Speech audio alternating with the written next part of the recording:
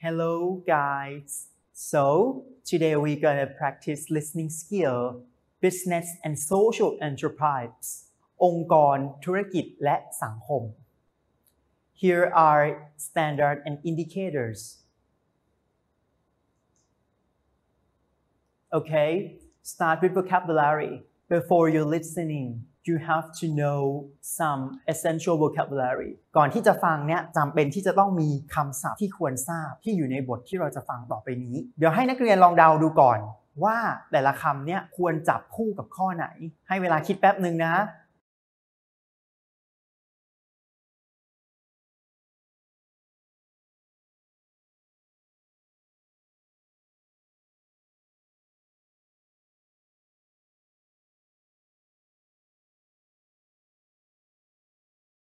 โอเค ถูกหรือไม่ถูกเรายังไม่ว่ากัน แต่ทีนี้เราจะมาดูความหมายกัน ว่าแต่ละคำเนี่ยมีความหมายว่าอะไร the first one entrepreneur เป็นคำนาม จริงๆ เนี่ยภาษาอังกฤษเนี่ย en ควรจะอ่านว่า n แต่ทำไมเราถึงอ่านว่า o n เพราะว่ามาจากภาษาฝรั่งเศสแปลว่านักลงทุน โอเคนะ entrepreneur มาดูตัวอย่างประโยคกันหน่อย an entrepreneur It's a person who starts a business and it's willing to take big risks in order to make money. Take big risks โอ้โห เสี่ยงมาก เพื่อที่จะได้ make money สร้างรายได้ให้กับตัวเอง business เกี่ยวข้องกับธุรกิจ ก็คืออาชีพ entrepreneur เป็นคำนาม แปลว่าอ่า เก่งมาก นักลงทุนผู้ประกอบการ นายทุน The next one, predecessor, predecessor, predecessor, predecessor ออกเสียงได้สองแบบเลย ถ้า predecessor เนี่ยจะเป็น American แต่ว่าถ้าเป็น British เนี่ยจะต้องเป็น predecessor ปกติเนี่ย predecessor or predecessor แปลว่าลูกหลาน แต่ในที่นี้ใช้กับหมวดหมู่เทคโนโลยี เลยไม่ได้แปลว่าลูกหลานลองมาเดาความหมายกันดู so you have to guess the meaning from the context first okay see a model sentence a predecessor it's a thing that has been followed or replaced by something else replaced by something else you see from the image เห็นจากภาพไหม okay on the left ด้านซ้ายเป็นภาพอะไร คอมพิวเตอร์แบบตั้งโต๊ะ แต่ข้างขวาเป็นคอมพิวเตอร์แบบไหน laptop laptop ก็คือคอมพิวเตอร์ที่สามารถพกพาไปได้ ในทุกๆทที่เลยได้แบบสะดวก เพราะฉะนั้นคำตอบ มันน่าจะแปลว่าอะไรอ่าเทคโนโลยีที่เกิดขึ้นมาใหม่เพื่อแทน เทคโนโลยีเดิมๆ โอเคนะ หรือสิ่งของที่มันเกิดขึ้นมาใหม่เพื่อแทนที่สิ่งเดิมๆ predecessor move to the next one roller coaster ride roller coaster ride โอเค ปกติเนี่ย roller coaster คืออะไร รถไฟเหาะใช่ไหมอ่าดูจากรูปรถไฟเหาะ แต่ลองมาเดาความหมายกันดูว่ามันน่าจะแปลว่าอะไร My day has been such a roller coaster ride I was upset this morning because I lost my phone but then this afternoon I've got a promotion at my job ตอนเช้าโทรศัพท์หาย แต่ตอนบ่ายได้เลื่อนขั้น ตอนเช้าดีหรือไม่ดี good or bad yeah bad in contrast ตอนบ่าย in the afternoon good or bad good so it is the opposite meaning ความหมายมันตรงข้ามกัน เพราะฉะนั้นเนี่ย roller coaster คือประสบการณ์ที่มีทั้งดีและไม่ดีปะปนกันไป เราก็เลยใช้เป็นคำนามเพื่อเปรียบเทียบบอกว่าชีวิตคนเราเนี่ยมีทั้งขาขึ้นแล้วก็ขาลง ก็เลยใช้เป็นศัพท์ว่า roller coaster ride โอเคไหมเหมือนกับการขึ้นรถไฟหอกที่แบบมีช่วงพีคแล้วก็มีช่วงลง โอเคต่อมา listening comprehension you will hear a paragraph twice เดี๋ยวจะเป็นการทดสอบการฟังและทีนี้นักเรียนจะได้ยินพารากราฟสั้น ๆ เกี่ยวกับมาร์คแซคเคอร์เบิร์กผู้ก่อตั้ง Facebook 2 ครั้งโอเคนะแต่ก่อนที่นักเรียนเนี่ยจะไปฟัง นักเรียนจำเป็นที่จะต้องรู้คำถามก่อนว่าเอ๊ะฟังแล้วเนี่ยเราจะต้องหารายละเอียดอะไร ให้เวลา 1 นาทีในการอ่านคำถาม และจดโน้ตลงไปในกระดาษว่า นักเรียนจะต้องหารายละเอียดอะไรบ้างจากการฟัง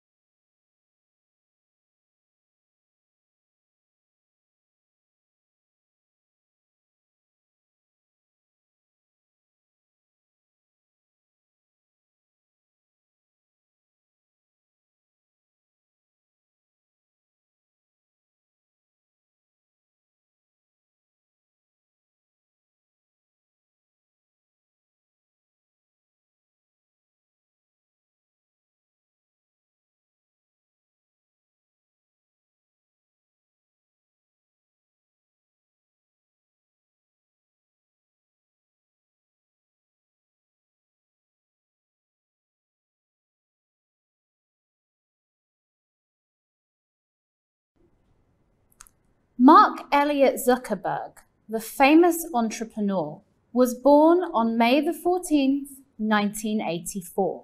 He is the creator of the social media site Facebook. He was a star student at school,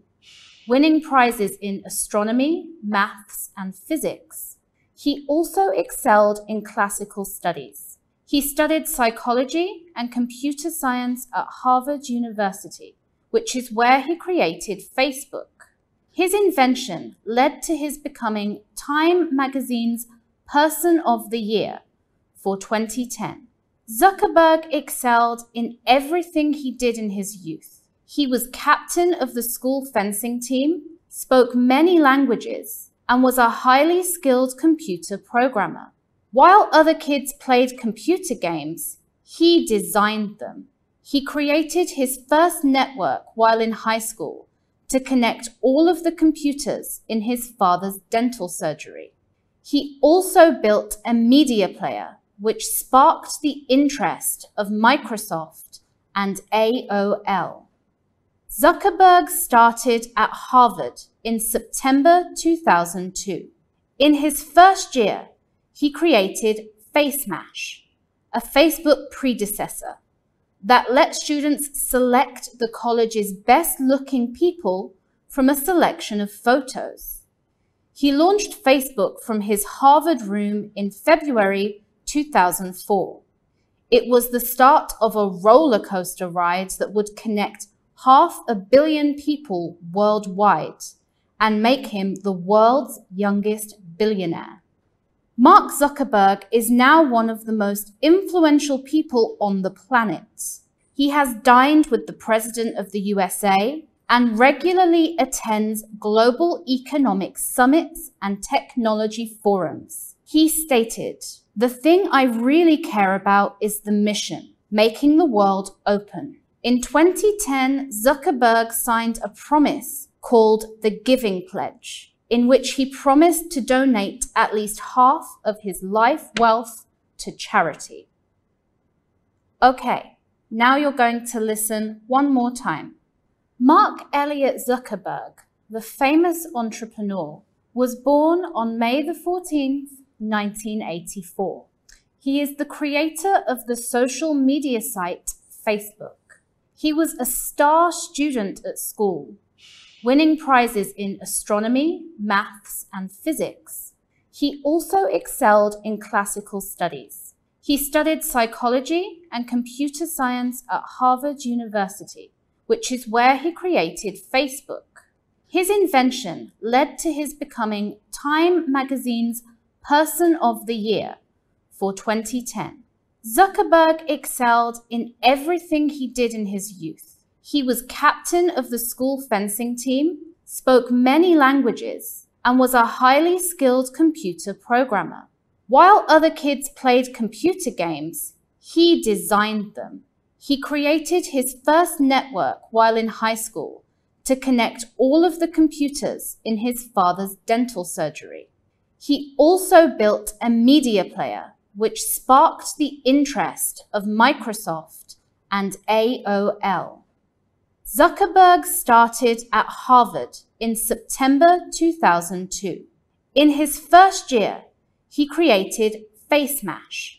a Facebook predecessor that let students select the college's best looking people from a selection of photos. He launched Facebook from his Harvard room in February 2004. It was the start of a roller coaster ride that would connect half a billion people worldwide and make him the world's youngest billionaire. Mark Zuckerberg is now one of the most influential people on the planet. He has dined with the President of the USA and regularly attends global economic summits and technology forums. He stated, The thing I really care about is the mission, making the world open. In 2010, Zuckerberg signed a promise called the Giving Pledge, in which he promised to donate at least half of his life wealth to charity. Okay, how about your listening? ฟังมาแล้วเป็นยังไงบ้างเกี่ยวกับการฟังของนักเรียนพอไหวไหมโอเคทีนี้อันนี้จะสรุปให้ฟังสั้นๆ ว่าจากการฟังเนี่ยเป็นอย่างไรบ้าง ในเรื่องบอกไว้ว่ามาร์คเอลเลียตเซคเคอร์เบิร์กเป็น famous entrepreneur ก็คือเป็นนักลงทุนที่มีชื่อเสียง เกิดเมื่อวันที่ 14 May 1984 14 พฤษภาคม 1984 เป็นผู้ก่อตั้ง Facebook ขึ้นมา ตอนเด็กๆ เนี่ยประวัติของมาร์คแซคเคเบิร์กเป็นเด็กที่เรียนเก่ง ไม่ว่าจะเป็น astronomy ดาราศาสตร์ maths คณิตศาสตร์ physics วิชาฟิสิกส์ด้วย ในมหาลัยมาร์คแซคเคเบิร์กเนี่ยได้เรียนคณะจิตวิทยาและวิทยาศาสตร์คอมพิวเตอร์ psychology and computer science ที่มหาวิทยาลัยฮาร์วาร์ด ซึ่งเป็นที่ที่เขาเริ่มมีแนวคิด แล้วก็สร้าง Facebook ขึ้นมา มาร์คแซคเคเบิร์ก เนี่ย ได้รับการยกย่องให้เป็นบุคคลแห่งปีในนิตยสาร Times ในปี 2010 นอกจากนี้แล้วในบทที่นักเรียนได้ฟังไปเนี่ยยังได้เล่าถึงประวัติตอนเด็กๆของมาร์คแซคเคอร์เบิร์กด้วย ว่าเป็นกัปตันทีมของทีมฟันดาบที่โรงเรียนแล้วก็พูดได้หลายภาษา มีความเชี่ยวชาญทางด้านคอมพิวเตอร์ พ่อของมาร์คแซคเคอร์เบิร์กเนี่ยเป็นหมอฟันและแม็กซ์เแซคเคอร์เบิร์กได้ช่วยพ่อ Connect Computers ในออฟฟิศของเขาด้วย ก็คือช่วยพ่อทำระบบในออฟฟิศที่พ่อตัวเองทำงานอยู่ แล้วก็แซคเคอร์เบิร์กเริ่มต้นเรียนในมหาวิทยาลัยฮาร์วาร์ดปี 2002 แล้วก็สร้างสิ่งที่เรียกว่า Face Match ขึ้นมา Face Match สร้างขึ้นเพื่อให้เพื่อนๆ ได้เลือก college based looking people คนที่ดูดีที่สุดในวิทยาลัยที่เขาเรียนอยู่ โอเคนะ uh, face match เนี่ยเป็นต้นแบบของ Facebook ถ้าฟังแล้วพอจับคำได้ จะมีคำศัพท์ที่เราเรียนไปก็คือคำว่า a Facebook predecessor สิ่งที่มาก่อน Facebook โอเคนะ paragraph ในช่วงเนื้อความตอนท้ายของเรื่องก็ได้พูดบอกว่าแม็กซ์แซคเคเบิร์กเป็นคนที่มีอิทธิพล แล้วก็ยังได้รับประทานอาหารกับบุคคลที่มีชื่อเสียงพวกรัฐมนตรี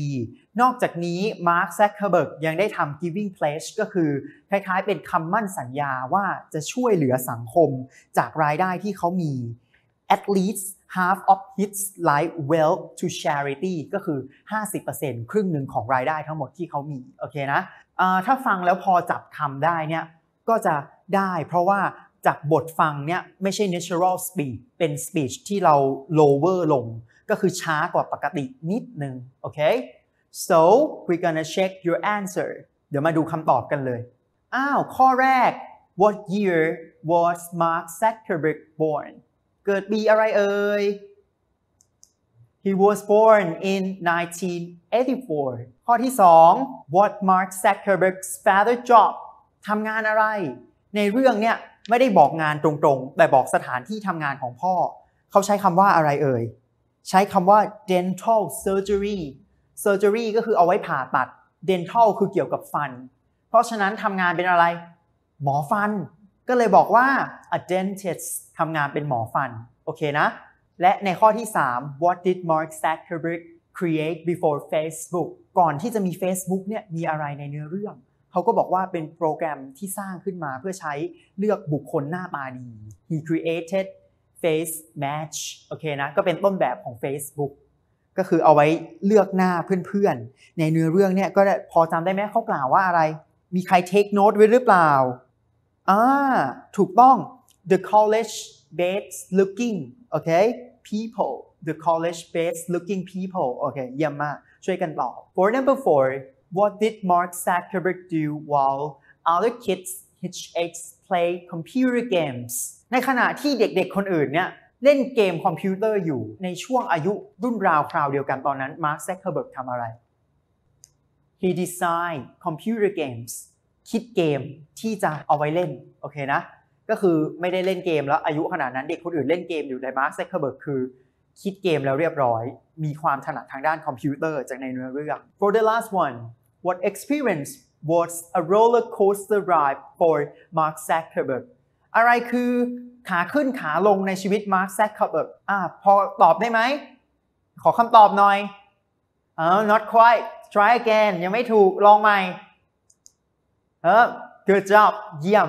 creating and managing Facebook ก็คือการสร้างแล้วก็การจัดการให้มี Facebook ขึ้นมา ถือเป็นประสบการณ์ที่มีทั้งขาขึ้นและขาลง ผ่านร้อนผ่านหนาวมาอย่างเต็มที่